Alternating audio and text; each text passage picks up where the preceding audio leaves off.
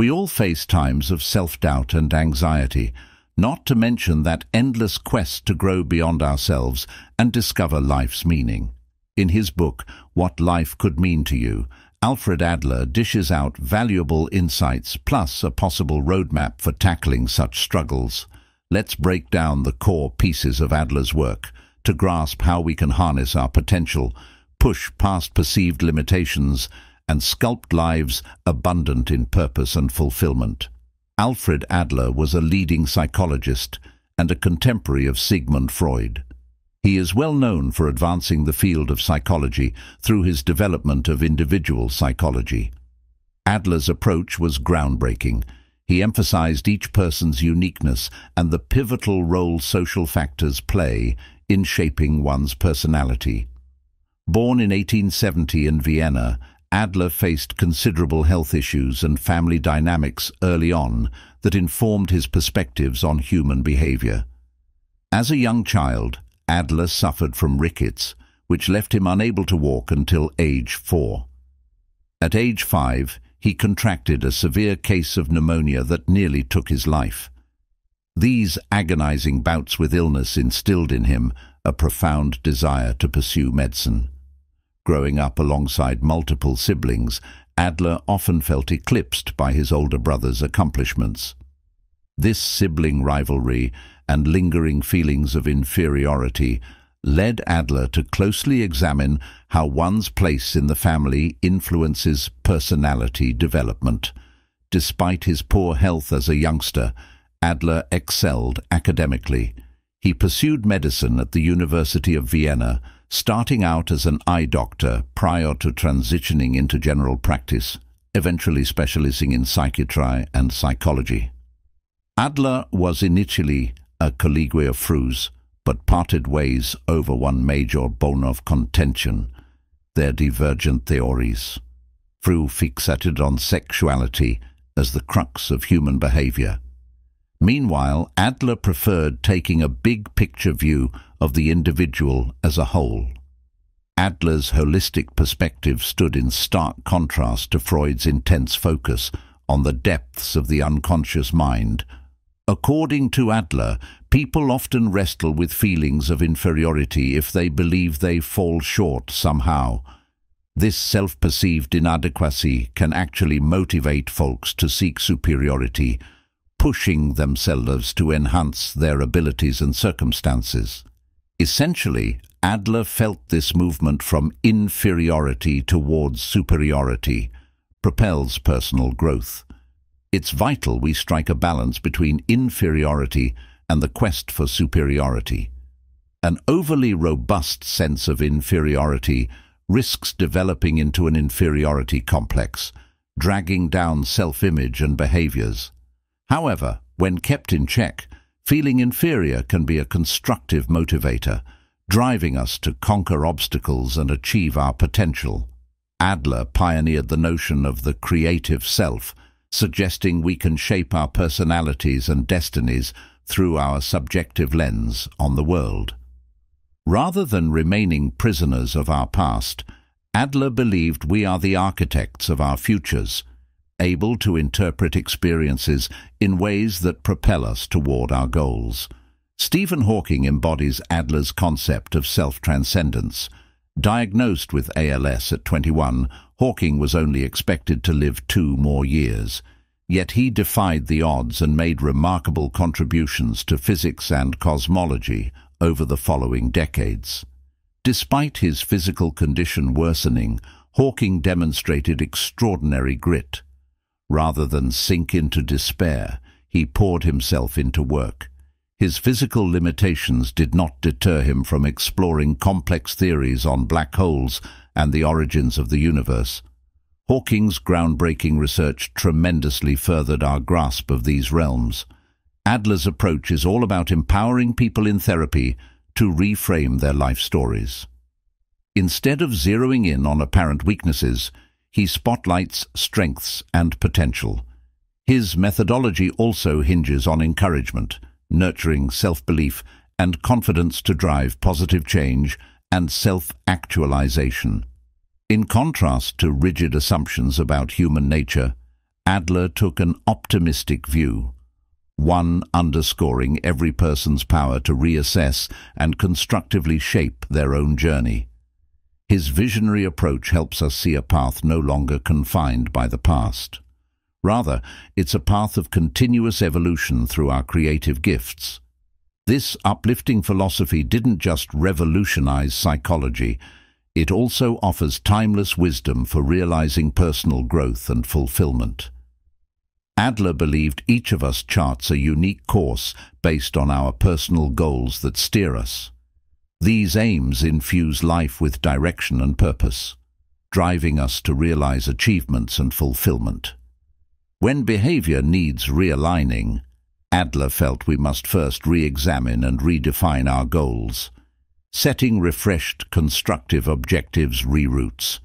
Someone towards positive outcomes. Take an athlete continually losing races. After reflection, they realize their sole goal was to win, not improve. Reframing their objective to focus on bettering performance reloaded their motivation.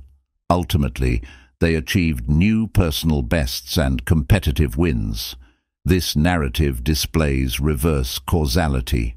Instead of past causes dictating present effects, Adler's approach suggests envisioned futures become causes of current actions, effectively reversing the flow.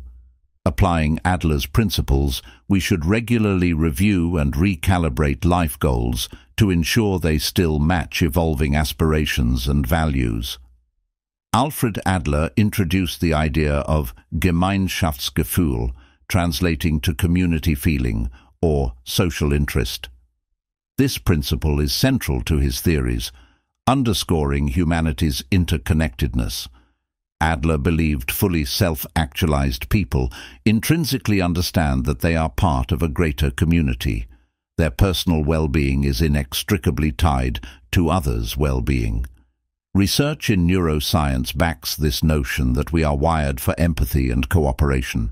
The discovery of mirror neurons, for instance, suggests we naturally attune to and share others' feelings.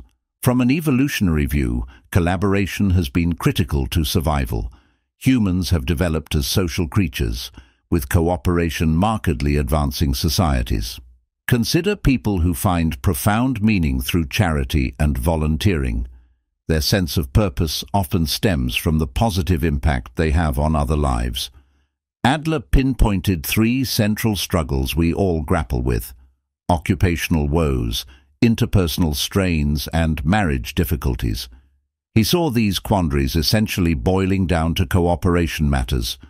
Resolving them effectively, Adler felt, is key to discovering life's meaning. Occupational struggles relate to divvying up work in society, grasping our roles and duties while cooperating smoothly with others on the job to reach shared targets. Dividing labour is a basic economic concept. Production gets split into tasks, handled by varied workers. This specialization lifts efficiency and output, yet also demands tightly coordinated teamwork and insight into one's part within the big picture. Every person in a company or community takes on discrete roles and responsibilities through Adler's lens, acknowledging and delivering on these. Roles fuels both personal and collective triumph. The BMW i3 project kicked off with loads of buzz, an ambitious bid to design a game-changing green car. The squad comprised experts across domains. The project manager coordinated efforts and ensured deadlines stayed on track. Design engineers brainstormed stylish, driver-friendly features. Mechanical engineers tackled the engine, battery tech, and other functional components.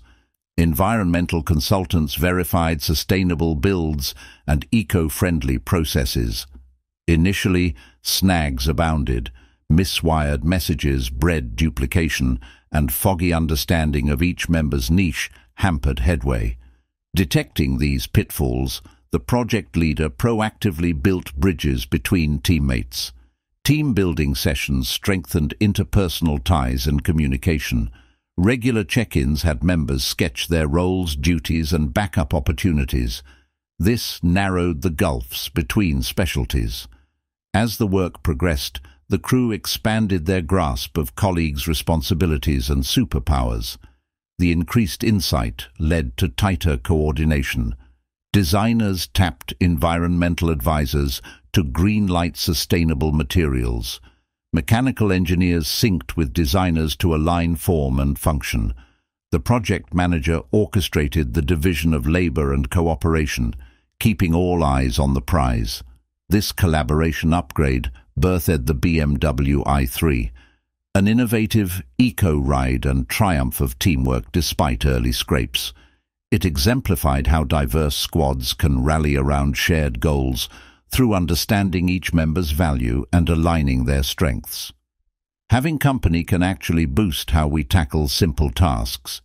This social facilitation means a workplace crew, when roles are clear and skills strong, can lift performance through shared drive and encouragement.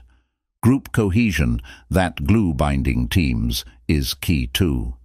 Tight bonds lift satisfaction, ease stress, and advance results.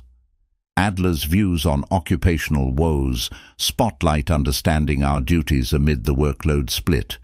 Boosting on-the-job teamwork and communication helps folks and groups conquer work struggles.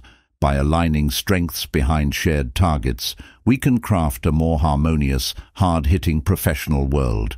When it comes to people problems, how we connect with others, building cooperative relationships is crucial for working through sticky spots and forging meaningful bonds. At their core, people problems come down to the intricate dance of human interaction how every gesture, word and feeling shapes our relationship's tapestry.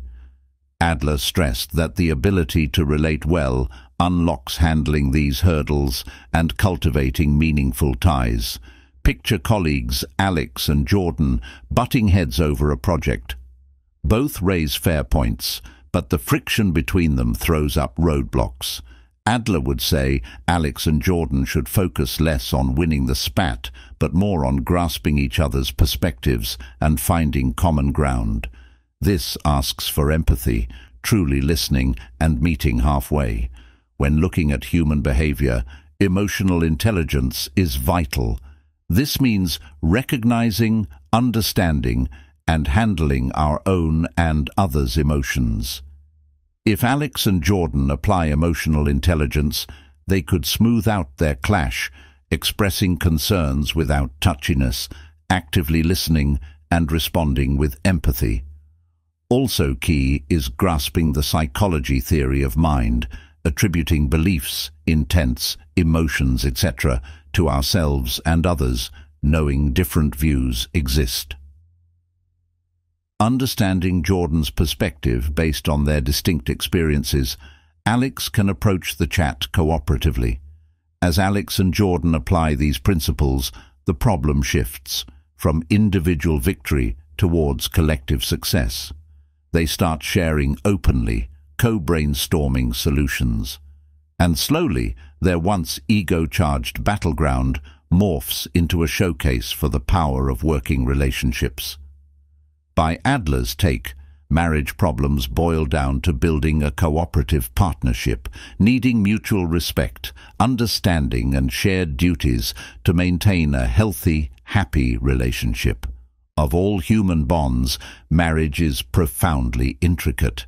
Take Sarah and Lee, a couple who, after years, hit a rough patch. Their once fiery spark seemingly faded amidst daily grind and unvoiced expectations swirling between them. Adler would pinpoint their issue's core, the erosion of cooperation in their partnership. What was once a dance of nurture and understanding had decayed into a silent struggle for control and validation. To mend their bond, Sarah and Lee embarked on a journey of rediscovery, guided by principles of mutual respect and shared duties. They learned about emotional bids, a term coined by psychologist John Gottman. Bids are any attempts to establish connection, support or attention, recognizing and responding. To these bids is key for partnership and intimacy. Through counseling, they practiced active listening, fully absorbing each other's perspectives without judgment or defensiveness.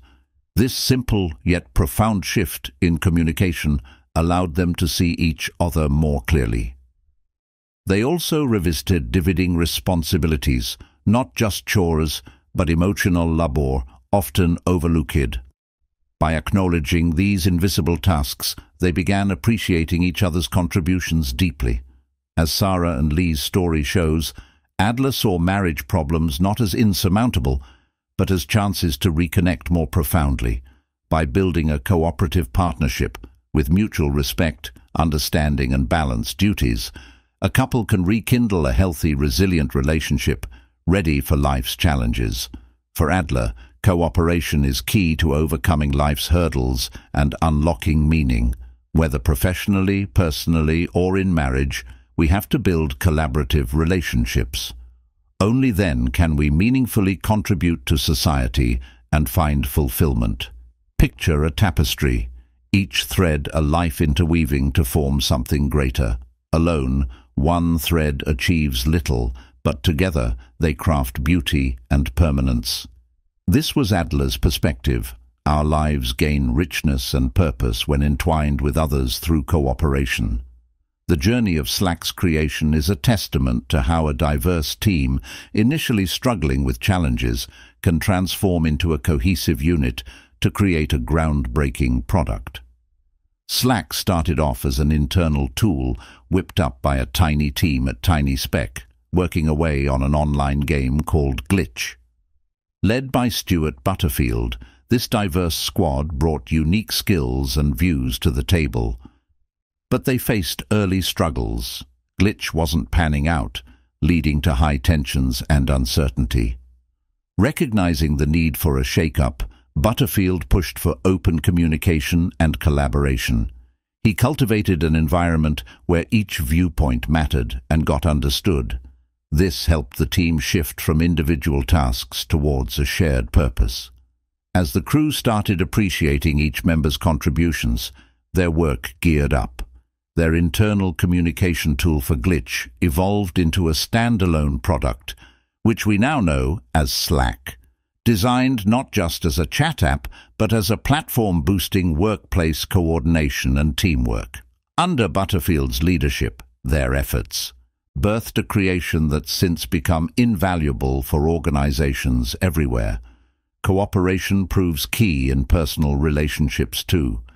Take Alex, he always figured that to be heard, he had to dominate chats. But this left Pal sidelined. In opening his ears more than his mouth, Alex uncovered a rich tapestry of perspectives and feelings, sparking more profound connections. He learned cooperation isn't losing his voice, it's harmonizing many voices. And for marriages like Sarah and Lee's, it's a dance, a give and take, balancing support and independence. In embracing this dance, respecting each other's rhythms and learning new steps together, they move as one. Missteps still happen, but each becomes a chance to learn and grow closer. Adler's philosophy reminds us life isn't a solo trek. We're part of a greater whole, our fulfillment stemming from our contributions to this whole. Cooperation is the thread binding us allowing us to tackle life's trials not as isolated struggles, but shared journeys. And in this shared experience, we find true meaning and fulfillment. Adler stressed equality within relationships, especially marriages, believing successful partnerships see both parties on equal footing, neither dominating. This plays out in Emma and Luca's quaint living room, Together for years, they've weathered squalls of conflict like any couple, but rather than letting one eclipse the other, they sit as equals, tea in hand, ready to listen and grasp. One evening, facing a decision about moving for Emma's job prospect, tension ran high. Luca agonized over abandoning his budding career, while Emma grappled with asking such sacrifice. This could have nosedived into a power struggle, yet it proved Adler's equality vision. They began by acknowledging their shared dream of mutual growth. Luca voiced his worries without accusation. Emma shared her excitement while validating Luca's concerns. It demanded stripping away notions of dominance, seeing each other as equal partners. Research shows when people feel respected and heard, positive communication and problem-solving become more likely. Emma and Luca's even exchange of thoughts and feelings enabled a decision honoring both their needs without overshadowing. For Adler, relationship equality wasn't just idealistic. This practical view sees partnerships thriving when both parties stand on equal ground, becoming sources of strength and joy rather than power struggles. Emma and Luca's tale illustrates how equality can morph challenges into opportunities for growth and deeper connections. Adler also discussed education goals, asserting that developing cooperation should be primary, not just academics. He warned over-pampering children could impair their ability to collaborate later on. Teacher Ms. Robinson in a small community classroom took this to heart. Her students were academically adept but struggled with teamwork and empathy. Recalling Adler's focus on cooperation, she integrated this vital skill into her curriculum. Instead of lectures, Ms. Robinson assigned group projects and peer teaching. She observed students navigating complex collaborative dynamics. Little Maya, used to solo success, initially found sharing tasks challenging, but over weeks she recognized the value in different viewpoints and abilities. Similarly, Alex, who often took a back seat, discovered his own voice, contributing crucial ideas to their winning project. Ms. Robinson also avoided over-pampering students. She offered support, but let them experience natural consequences within the safe classroom. When a science project tower collapsed, instead of fixing it, she asked them to reflect on what went wrong and how to rebuild together. Through these experiences, the children learned about interdependence, respect, and the shared thrill of cooperative success. They progressed socially, emotionally, and academically, gaining lifelong skills. Adler's warning against overindulgence was evident in how these students started tackling obstacles without expecting rescue, realizing overcoming hurdles was part of learning. As they matured, they carried the ability to build collaborative relationships, a talent that would serve them beyond school walls, enriching life. Alfred Adler's work, What Life Could Mean to You, packs some serious wisdom around understanding human behavior and self-actualization. His ideas serve as a roadmap for conquering life's speed bumps and discovering purpose through teamwork and societal impact. As we steer our individual journeys, it pays to recall Adler's insights. Let's aim to push past perceived limitations, build collaborative connections, and bring our positive contributions to the table. By doing so, we can unlock our boundless potential and lead lives rich with meaning.